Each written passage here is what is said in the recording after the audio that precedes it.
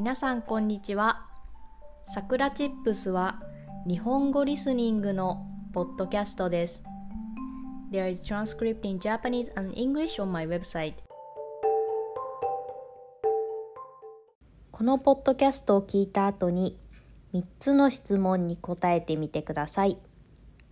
あなたが日本語をどれくらい理解できたかチェックしてみてください。今日のテーマは気分転換についてです。あなたは気分転換する方法がありますか？私は最近気分を変えたい時にする方法が2つあります。1つ目はバルコニーで横になることです。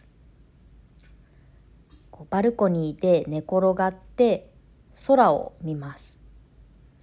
でしばらくぼーっとします。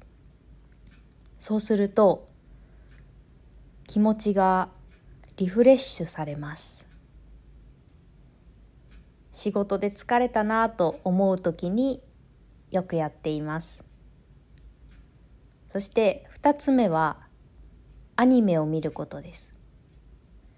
最近今更ですが「鬼滅の刃」を見始めました。そしてハマっています。私はアニメとか漫画はほとんど見ませんでした。ですが「鬼滅の刃」は面白くてなぜかハマってしまいました。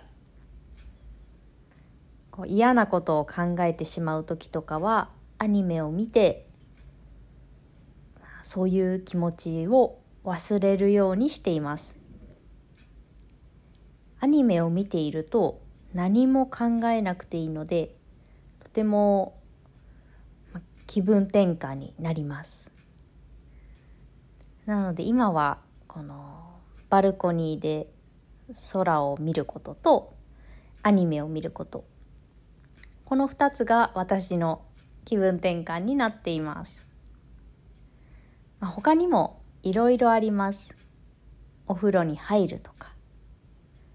あとは最近ハマっているキャンドルを作るとか。まあ、そういうものもとてもいい気分転換になっています。自分の気持ちがこうあまり良くない時に何をすれば気持ちが晴れるのか。それを知っているとすごく毎日が楽しくなるなと思いました。皆さんも気分が落ち込んだ時は是非空を見ることとアニメを見ることを試してみてください。それでは今日はこの辺で終わりにしようと思います。If you want to help us continue to create podcasts like this, please consider making a small monthly contribution at sakuratips.com. You can get Japanese chair twice a month. Check the description box. じゃあ、またね